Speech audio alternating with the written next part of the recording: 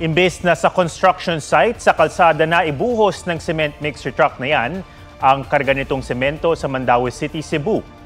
Di raw ito napansin ng driver. Nagkaroon din daw ng problema ang minamaneho niyang truck. Bumigat ang trapiko dahil sa insidente. Humingi na ng dispensa ang driver na tiniketan para sa iba't ibang traffic violation. Tumambad ang limpak-limpak na pera sa mga vault sa niraid na BPO sa Bagak, Bataan.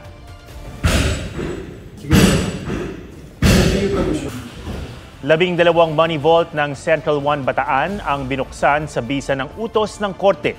Sinaksihan niya ng kinatawan ng Central One. Sa limang vault pa lang, mahigit 51 million pesos na ang laman, ayon sa Presidential Anti-Organized Crime Commission o PAOK. Meron ding nakuhang 167,000 US dollars o halos 10 milyong piso pati ilang dokumento. Hindi pa kasama rito ang pera sa iba pang currency tulad ng Malaysian ringgit at Singapore dollar. Sabi naman ng abogado ng Central One, panggasto sa operasyon ng kumpanya ang pera sa vault. Noong mismong araw ng raid, mahigit 30 milyong piso rin ang nakita mula sa dalawang vault na binuksan. Sa kulungan pa rin ang diretsyo ni Mary Jane Veloso na uuwi na ng Pilipinas matapos ang labing apat na taon sa death row sa Indonesia. Dahil wala ng death penalty sa Pilipinas, maharap sa Veloso sa habang buhay na pagkakakulong, bagay na iaapila ng kanyang mga abogado. May report si Ivan Mayrina. Uuwi na ng Pilipinas si Mary Jane Veloso, ang OFW na mahigit isang dekada nang nasa death row sa Indonesia. Inanunsyo yan ni Pangulo Marcos, sabay nagpasalamat sa bagong Pangulo ng Indonesia na si Prabowo Subianto if you mean may written agreement, wala pa yung sagot. Pero sila mismo ang unang pumunta sa atin to talk about this. So we're extremely confident it will happen. And certainly our president must be privy of information which would explain his confidence. Inabot ng tatlong administrasyon para mapauwi si Veloso na hinatulang guilty sa kasong drug trafficking noong 2010. April 2015 na mapabilang si Veloso sa 10 convict na itinakdang bitayin ng Indonesia pero hindi ito natuloy. Matapos tawagan ni Noy Pangulong Noynoy Aquino ang Indonesian Foreign Ministry. Kasunod yan ang pagsuko ng recruiter ni Veloso na si Cristina Serio sa pagpasok ng Administrasyong Duterte ang naging posisyon ng Pilipinas. He said, follow your own laws. I will not interfere. Pinayagan naman ng Indonesia na makapagbigay ng testimonyo sa Veloso laban kay Sergio at isa pa niyang recruiter na si Julius Lacanilao sa pagupo ni Pangulong Bongbong Marcos. Muling umpapil ang pamilya ni Veloso na hilingin ng Pilipinas ang executive clemency at pagpasok ng pamunuan ng bagong Indonesian president. That Indonesia is formulating a policy of transfer of uh, uh, persons, of, of foreign persons uh, to their host countries. Indonesia itself has a law which will take effect in 2026 about uh, what in effect um, would be, um, if not necessarily the abolition of the death penalty, um, but uh, some sort of informal um, non-implementation of the death penalty. Gate ng DFA walang hiningin kapalit ng Indonesia sa Pilipinas. Sa kanyang pagbabalik bansa, sa kulungan didiretso si Veloso itutuloy lang po niya yung sentensya niya. The most important um, aspect of this all is the the difference in our laws. No? There, they allowed the death penalty. Dito, wala ho tayong death sentence. Batid yan ng Indonesia. Kaya ayon sa Law and Human Rights Ministry ng Indonesia, life imprisonment ang magiging sentensya ni Veloso. Tutukuyin pa ng gobyerno ng Pilipinas kung saan pwedeng dalhin si Veloso. Pero ang gusto ng mga abogado ni Mary Jane, ay absolute remedy. Sabi ng Indonesia nasa kapangyarihan na ni Pangulong Marcos kung bibigyan ng pardon si Veloso. Laking pasalamat ng pamilya Veloso na makakauwi na siya. Sa tagal ng panahon, parang pinakinggan ng Diyos sa aming panalangin. Sana po, kung makauwi si Merjane, diretso na po sa bahay namin. Ivan Mayrina nagbabalita para sa GMA Integrated News. Sinabi ni U.S. Defense Secretary Lloyd Austin III na may mga nakadeploy na sundalong Amerikano sa US Task Force Ayungin.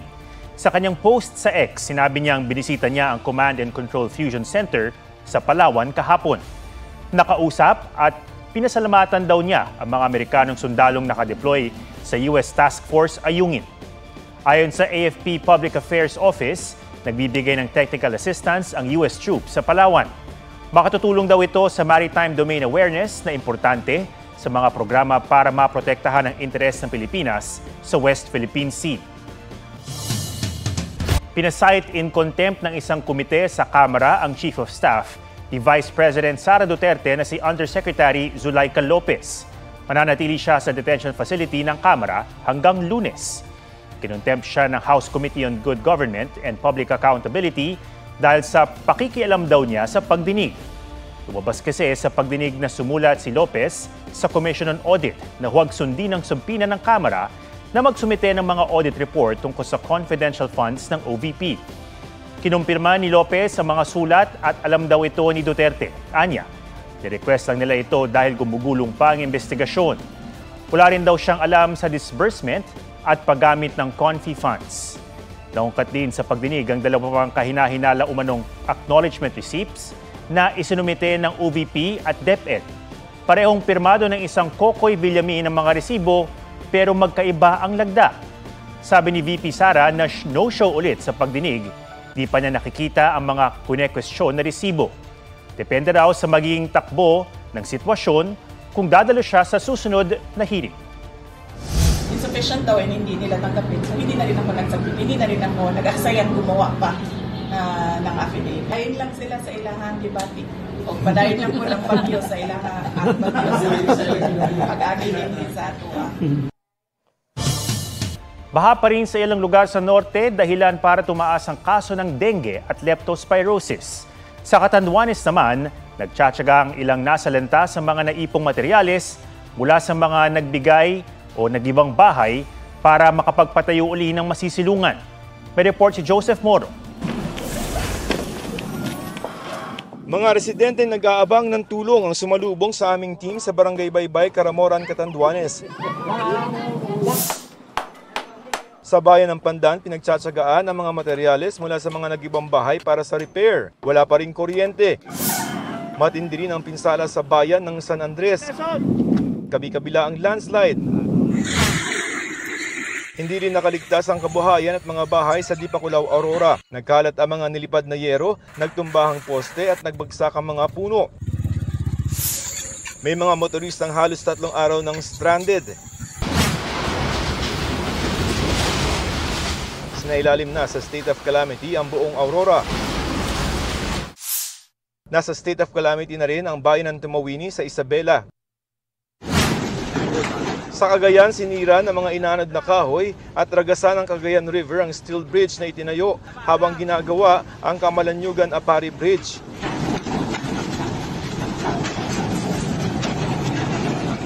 Sayang, Diablo. Sayang.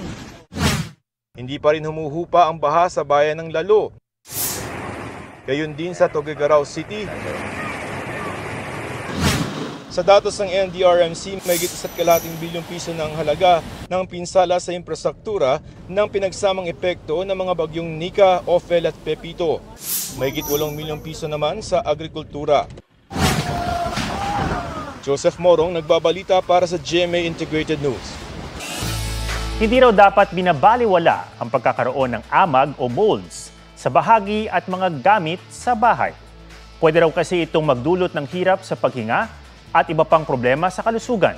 Ang Fit Track Report mula kay Katrina Son. Sinisipon. Hirap dumilat. At minsan, hirap huminga.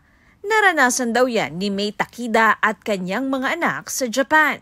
Nang ikwento ito sa kapatid at inusisa kung bakit kaya nagkasakit. Ang sabi niya, i-check mo kung merong mold sa bahay nyo. Ang anak naman ni Lian Yumi Launyo, basta nasa study table, bahing ng bahing dahil daw sa amag. Wa-epek ang simpleng punas lang. Lahat ng may molds, ang pinanglilinis ko po yung suka. Nilagay ko lang po siya sa spray bottle. Ayon sa isang doktor, ang amag sa bahay di dapat binabaliwala. Pwede kasi matrigger ng molds yung mga allergic rhinitis. Pwede din magkaroon ng coughing o yung tinatawag namin na wheezing and then sore throat din. Ang amag pwede ring magdulot ng pamamantal, magpalala ng hika at maging banta sa mga immunocompromised o may iniinda ng kondisyon. Po pwede rin magkaroon ng tinatawag na chronic pulmonary aspergillosis. At dito, nagkakaroon talaga ng breathing problems ng panghihina ng katawan at explain, unexplained weight loss. Mas dumarami ang amag kapag malamig o maulan at kung kulob ang bahay. Pag hindi po kasi proper ventilated yung bahay, doon po talaga umatake yung mga molds. Bukod sa mga lugar na nababasa tulad ng kusina, pwede ring magkaamag sa kama at unan. Kahit saan nga raw na parte ng ating bahay ay maaaring magkaroon ng molds o yung tinatawag na amag. Tulad na lamang nga ng baunan na ito na hindi na-check kaya naman nagkaroon na ng amag. Kaya makakabuti daw na ugaliing i-check ang mga ito para maiwasan ang molds o amag. Mas makakaiwas daw sa amag kung regular ang paglilinis. Kailangan lahat po ng pintuan at bintana bukas po para po yung uh, yung uh, fresh air po pumasok. So, ibabacuum po natin para masipsip po yung mga maliliit po na na particles and then mag-scrub na po tayo ng sponge or ng scoring pad with na necessary chemical. So, in circular Spray motion natin. po and then pagka medyo okay na po siya, babalawan na po natin ng tubig at tuyong basahan. Katrina Son, nagbabalita para sa GMA Integrated News. Kaylin Alcantara at Kobe Paras nakisaya sa Christmas tree lighting sa San Jose del Monte City, Bulacan. Ang wish daw ni Kobe for Christmas, ipagluto siya ni Kaylin. Sana kahit anong lutuin ni Kay. Ano ba? Ano ba? Lechon. Lechon. Bopis. Bopis po. I'm a Bopis lover. Masili ko po lechon. And ano bang mga Christmas? Mga ham? Shanghai. Pansit? Ikinatuwa naman ni Kylie ng positive feedback ng netizens sa pag-audition niya sa casting call ng Cinemalaya. It was a really humbling experience. Chen ng EXO magbabalik Pilipinas para sa Beyond the Door Asia Tour ngayong weekend. It's official! Irerelease na ni Blackpink Lisa ang debut solo album na Alter Ego sa February. Aubrey Carampel nagbabalita para sa GMA Integrated News.